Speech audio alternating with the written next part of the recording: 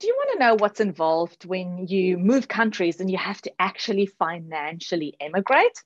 Did you even know that that's a thing? Stay tuned because more of that coming all your way in today's episode.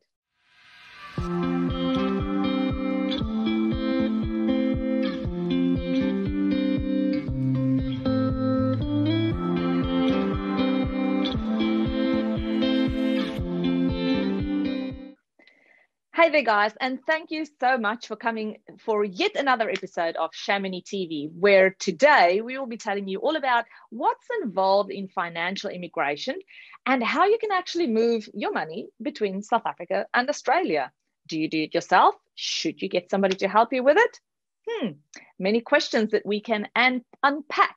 And so I have partnered up today to bring you the gent from Currency Assist, who is a South African based company, and they are Forex brokers who have been doing this process for many years. They will be sharing all their nitty bitty detail about what you should and shouldn't know in our short chat. But before we do that, have you subscribed to our channel yet?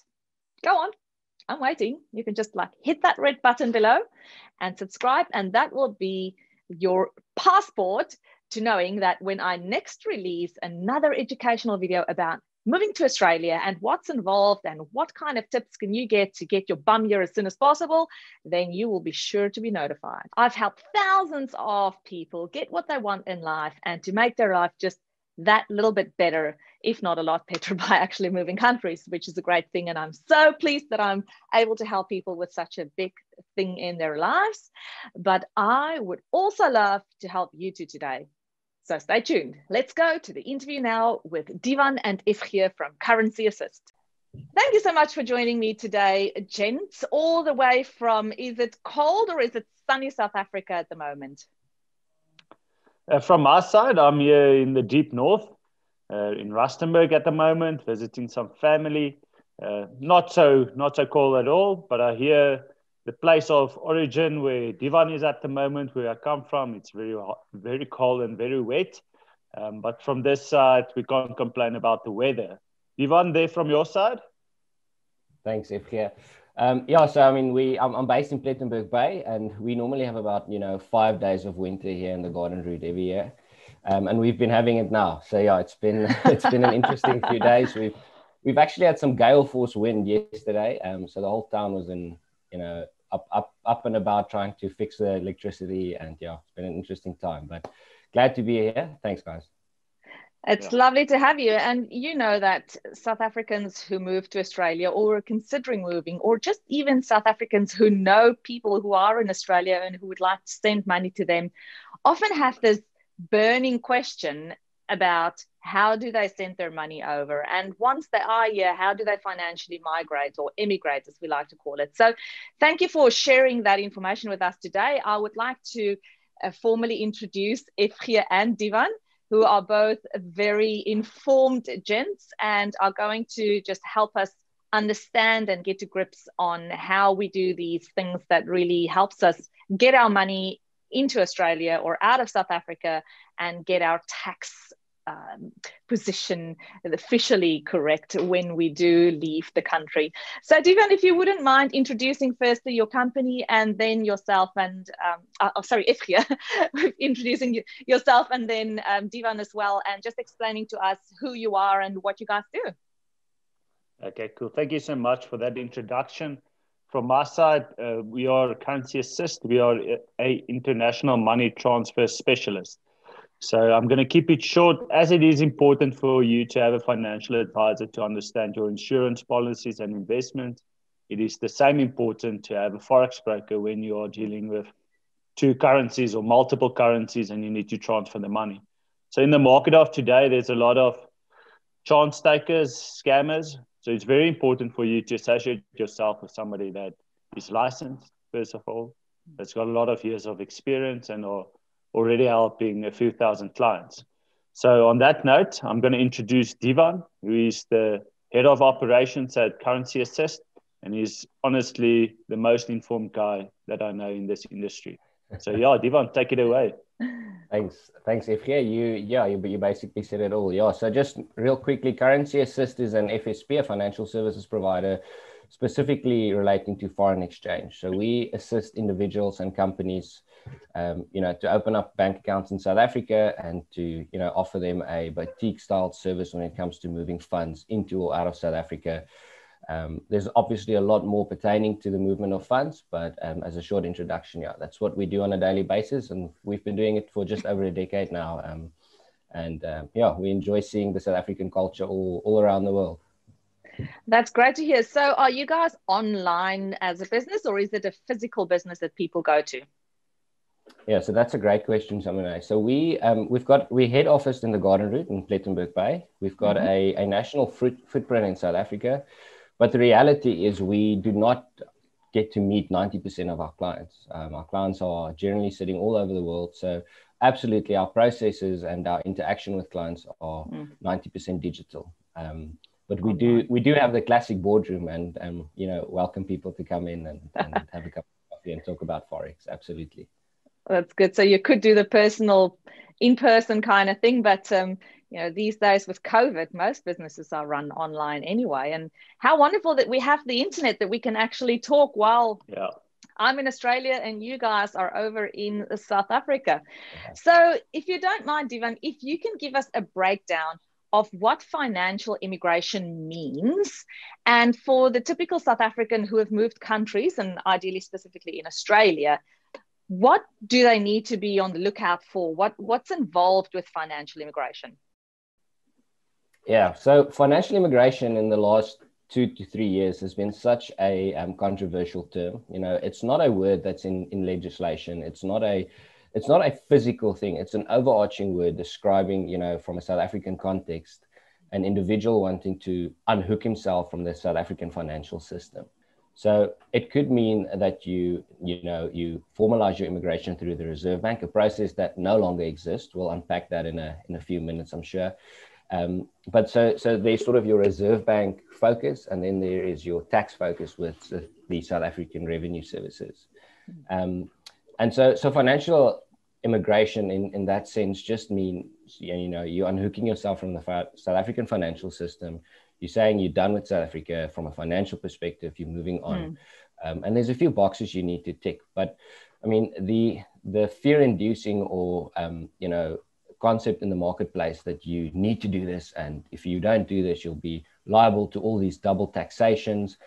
Um, you'll be liable to, you know, you, you, won't ever get your funds out of South Africa. There's a lot of fear mongering. And um, I think it's important to just sort of understand what it is and, you know, as per your financial situation, define whether it's, it's needed or not. Mm. Mm. Um, so, and, so and, walk us through that if you don't mind. That like, the, what are the concerns that people are being said? Like, if you don't do this, or if you, sh- you know, what are those daily kind of things that people hear that that concern them, and which is why they need to get in touch with you, gents.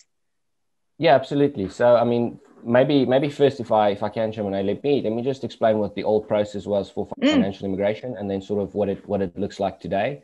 Yeah, go so for it. From the first from the first of March um, this year, um, the formalize formalizing your immigration through the Reserve Bank fell away. Now, it used to be a process where you you completed a bunch of application forms. Um, you listed all your, your assets and liabilities. You got supporting documentation for, for all your South African based assets.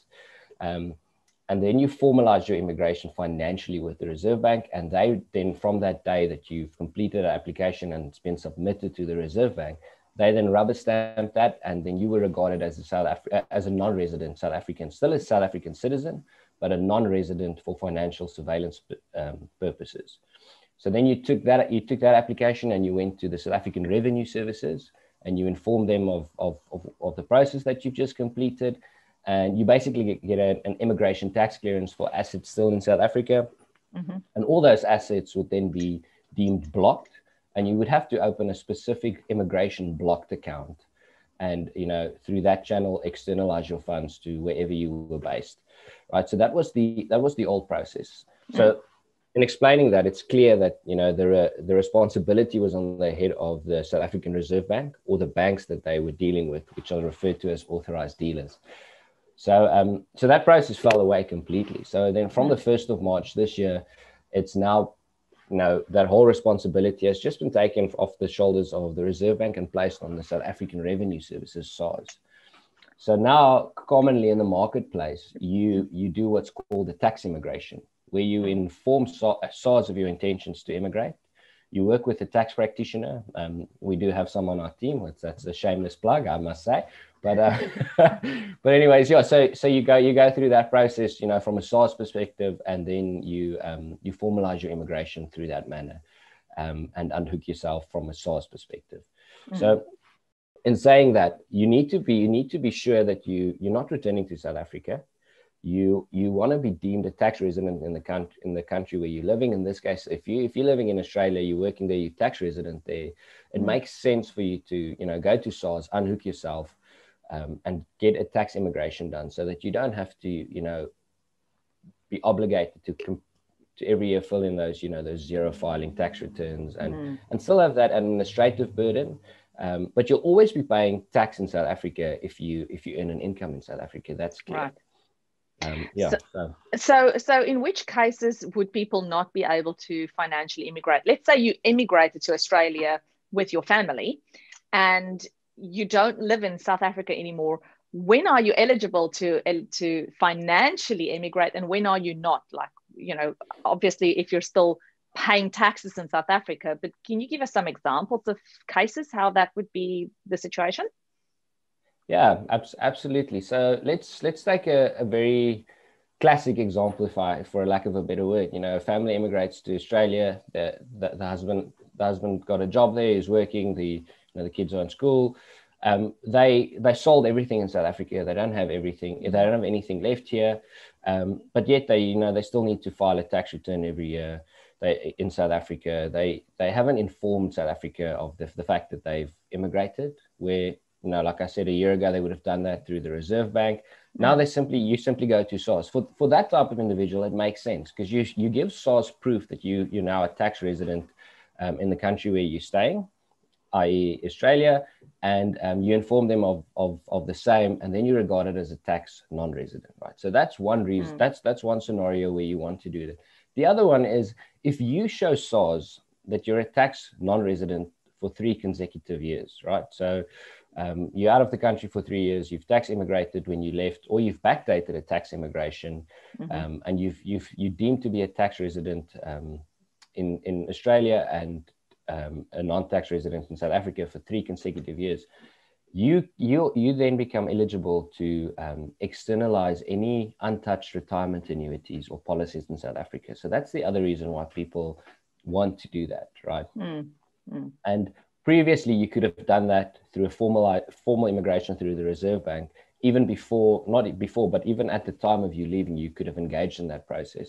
Mm. So, um, yeah, that's definitely one reason to do it a, a, reason maybe not to do it is if you if you've got very complex financial structures in South Africa, it might not make sense for you to just you know um, trigger any potential capital gains, deemable cap, uh, disposable capital gains tax um, you know responsibilities, um, and and anything like that. So if you've got complex complex financial structures in South Africa, mm. I wouldn't necessarily just go and say, hey, inform SARS of, of the same. You definitely then want to, you know, speak to a master tax practitioner that's that specializes in, in mm. tax immigration. So what are the pros and the cons of immigrating financially? Why would you suggest that somebody do it? So again, if you if you want to unhook from the South African financial system, that is the way to do it. So, you know, a lot of people just want to they they've immigrated, they love to just tick all the boxes to be sure that they, you know, they're not going to be receiving a tax bill 10 years down the line so it's it's peace of mind is definitely one reason mm. that's that's that's the answer there and then secondly i mean um, another another reason to do it is the fact that you've got a retirement annuity let's say you're 45 or you're 50 years old you need to wait another five or 10 years to encash a retirement annuity in south africa mm. pay the tax on it and get the funds to where you want it to go um, if you've tax immigrated, you can start that process, you know, before a policy reaches its maturity. So that's Good. another another very important reason to do it. Um, yeah, but generally, it's it's the mm. peace of mind, and um, yeah, people often ask me then, so Divan, do I lose my citizenship? You know, because I don't want to lose my South African citizenship. Mm. And the reality is, you don't. You don't, right? Mm. And that's why I like the fact that um, you know, the regulators have, has moved the responsibility to SARS. So it's become a total financial um, move um, and, and informing the revenue services of the same. And so they can, if they for some reason decided to move back to South Africa at a future point in time, they can then resume their financial position with SARS, of course. You can you can you can then come back and say, listen, I'm I'm going to be a tax resident here now again, and and you can continue, right? And that's a brilliant point that you're bringing up because two years ago, if you wanted to do that, you know, you, you did a formal immigration through the Reserve Bank, and now you know things didn't work out for you in Australia. Now you came back, it was deemed a a failed immigration, which which created an, an admin you know burden for yourself because now the reserve bank sees you as a non-resident. You have to become a resident again. You have to reverse a process. Where now with sars it's not as complicated. Mm, that's great. What's the typical kind of time that it takes for a person from when they start this process until they can as you say have that peace of mind of being financially immigrated yeah. So um, again, that to a large degree does does absolutely depend on your um, financial situation and the mm. complexities, uh, you know, with the structures you have in South Africa. But I would say for for you know your typical guy immigrated, he's he's, he's he had one job in South Africa, moved overseas, he's working there. Um, you know, it it's it's been it's been taken down from um, from weeks to to um, from months to weeks. So you're looking at a, a, okay. a two or three, four, maybe maybe a month to you know mm. to be tax immigrated, depending on some um, you know documentation required. There's one or two things that you would actually need from the country where you mm. are deemed to be a tax resident now. So that was going to be my question. What are the kind of documentation that people will need to get in place before they can start the process? Well, first of all, you, you need to be tax compliant with SARS. So if you've got any sort of outstanding fines, up. That's, well, yeah, no, either either pay up or you know just just get it up to date, and that usually in South Africa means there, there there's some payment involved. You're quite right. And then um, a certificate of residency. So that's something you get at your um, you know your revenue services in in Australia, whatever where, wherever you you're residing. Um, and it's basically a certificate saying that you're a tax resident of that country, and SARS right. needs that as as proof. Um, and then, I mean, it used to be complicated. Um, I keep keep saying that, but the reality is now, if you work with a master tax practitioner, of who there's, you know, there's a few in South Africa that's excellent. Mm. Um, you know, they they set you up. They take you through. Um, give them a power of attorney. That's one. That's another document you need from. Um, you need to supply, and then you just go through a process. I mean, they'll they'll hmm. walk you through a questionnaire, and um, make sure you tick all the boxes. And it, it really is that simple. I mean, I've, I've spoken to a few clients that have just done it themselves. It, it really is easy enough to do, permitted you can, you can get, can get to communicate with SARS. Now, tell us about using a Forex broker. What is a Forex broker, firstly, for those of our viewers who are not sure? And then, why should somebody need to use a Forex broker to do their financial immigration? Yeah, obviously, um, obviously a, a, great question, Shamanai. So I would I would definitely say first of all, what a forex broker is is somebody that um, you know that specializes in foreign exchange, and um, you know it's it's somebody that assists clients to move money, and I mean the best the best definition I can I can um, come up with when I think of, of our industry and our business is you know it's like I'm I'm not that old, but my, my parents tell me that banking in the 70s and 80s was a was a pleasant experience. I mean, you had your personal banker and you went to them and you um, you know you did your business and that was it, and you you knew you were talking to. So a forex broker is is is a little bit that type of person, right? It's a it's it's the type of person that you get to talk to when, when it comes to moving your money internationally. You you get to have that personal boutique service um, yeah. which which is very valuable. Yeah, but essentially, it's somebody that assists um, an individual or a company to move funds, um, um, you know, from one currency to another. And somebody who's really clever and has studied many many years. and talking about which, so if people then decide to use a forex broker like yourself to help them with financial immigration, what are the kind of fees involved, Divan? Yeah, so with with the, with the financial immigration, um, you know, I, have I've I've mentioned a few times the, the the role a master tax practitioner would play in this, right? Mm-hmm. So, um, you know, it would basically just be their fee. We as a as a as forex brokers would love to assist individuals, you know, when they have funds to move to open an mm-hmm. account and and move move um, their funds for them. Um, and there's obviously a cost pertaining to that transaction. But, you know, the the old way of doing a financial immigration would have cost you tens of thousands of rands through a forex broker like uh, like ourselves, or you know through a company that specialized in financial immigration. But these days, I mean, it's it's a consultation with the master tax practitioner. It's it's getting getting getting everything together. Again, if your situation is complex, you're looking at you know a few thousand rand. Um, if not, it's it, it could really be a very cheap and quick process. And so that, that's the costs of using somebody. But tell us about the money that can be saved by using uh, professional people like yourself. Yeah. So so in, in terms of the you know the moving the moving of money, it's it's uh it's such a it's such an interest in, interesting industry because the the the what the single biggest thing that people don't get to see with foreign exchange is transparency, right? Mm-hmm. So you know you're moving, you know, you're converting some South African rands into Australian dollars and you're getting an exchange rate, but you don't really know what you're paying. Yeah, there's a little, you know, an admin fee associated to moving funds through a bank or whatever, but you don't hmm. actually mm. know what you're being paid. And the mm. the reality is that people are, you know, being charged a lot of money to yeah. to to convert funds and they're not seeing it. So I mean, I would I would say the biggest the biggest reason and the biggest saving through through using a, a foreign exchange specialist or money transfer company would um, is, is the fact you get that transparency right? So let me let me explain this by way of an example quickly. So you you're sitting in south africa you've got a million rand that you need to convert to um, to australian dollar. Let's just assume for the sake of this example that the exchange rate is 10 to one mm-hmm. right? So I keep so on using you, 10 to 1 in my mind all the time, whether it's, it's absolutely the the easiest example, right? I'm, even though I'm in the financial industry, I, I, have to say that a calculator is my best friend. So 10 to 1 um, is, is, is, a, is a method I enjoy. But anyways, yeah, so um, so let's just say it's 10 to 1.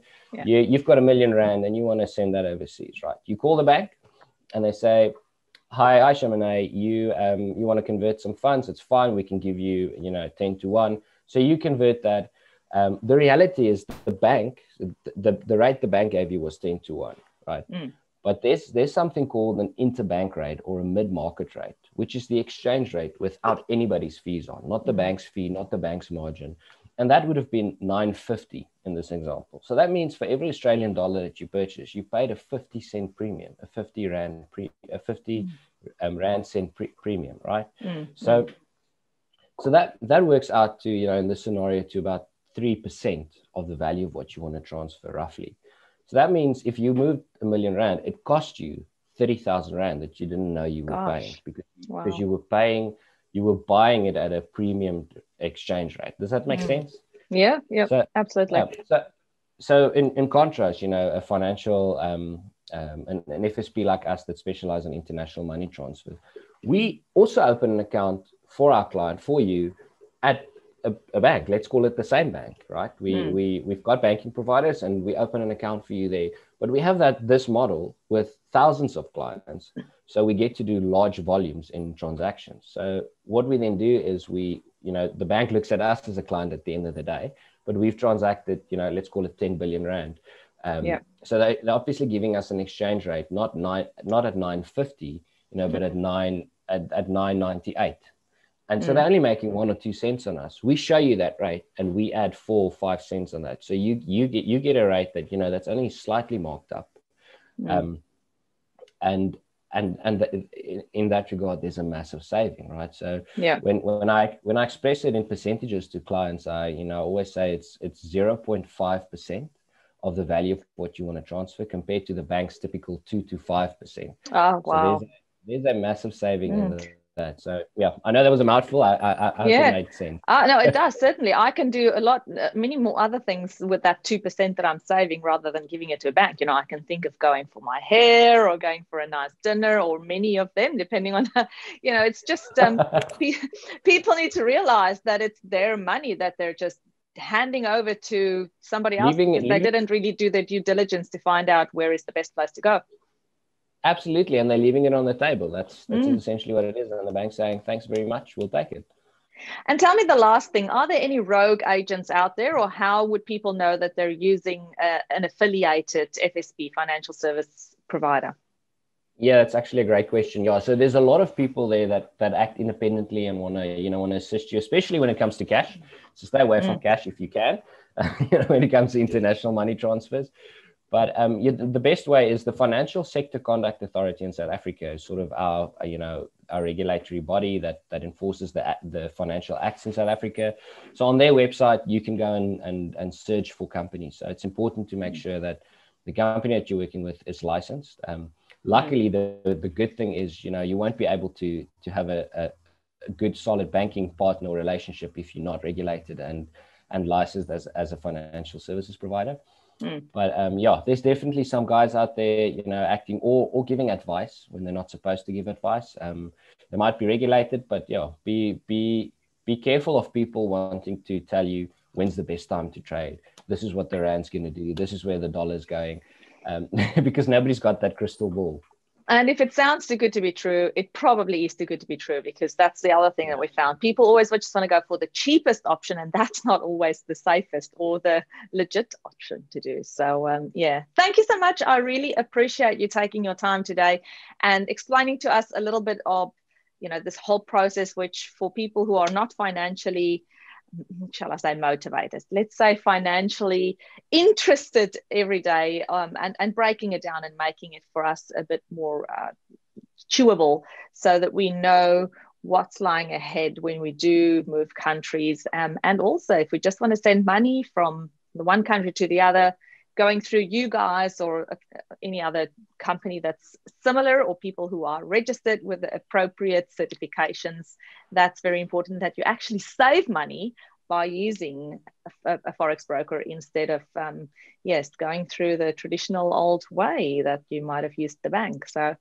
appreciate you taking the time yeah, Shimona, anytime. It was it's been a pleasure talking with you and trying to explain a few concepts. Obviously there's a there's a lot more that we can talk about. So um any anytime, really enjoyed it. Thank you. Thanks so much. If you wanted to send money back to your family in South Africa when you've already moved to Australia, this is a very good way to go about it because you can save so much and make sure that you use legit people. You don't want to be giving your money to a rogue agent or a wannabe person who's just going to run off with your money. So make sure that you use legit people. And in the comments below, what we want to know from you is what are those burning questions that we didn't cover in today's interview potentially? Are there anything that you have not fully grasped or would like to know more about? put it in the comments below and we would love to be able to potentially bring you another video like a follow-up if we find that there is a, a big interest in finding out more about how to do this thing. Now, clearly, if you're watching this video, you have started considering making the big, big move to down under. And if you haven't yet thought about all the steps involved, then this one obviously has now just been added to your list of things to do or to do maybe once you're here or maybe to, to keep it in mind because when you're planning your move, there are always little bits and pieces of documentation that you might need to grab or get in order before you actually leave South Africa. Make sure that you hit the like button on this video because if you've made it to the end, I'm sure that you have found it valuable in some shape or form. It really goes a long way in helping my channel just to reach more people and you know make somebody else's life just that little bit better or a lot. Actually, if they are going to move to Australia and if we can help them through that process, that would be amazing. So hit the like button, subscribe, and you know what? Share it with a friend because surely there would be somebody you know that either lives in Australia and who might potentially still have to financially immigrate or who is considering moving to Australia because they might just be really thankful that you have brought them this information.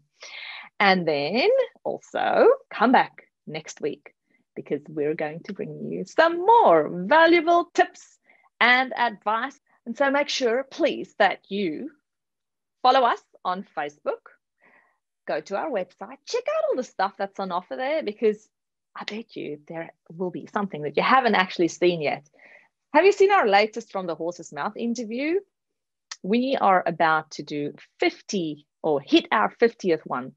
So go and check that out and hit me up again in the comments below or anywhere else. Go and follow us on YouTube, Facebook, Instagram. Make your pick. We're all over the show, every social media platform that's important enough anyway, in my regard. And please come back next week because I would like, would actually love to help you change your life for the better. So thanks for watching. I appreciate each and every one of you. See you later. Alligators.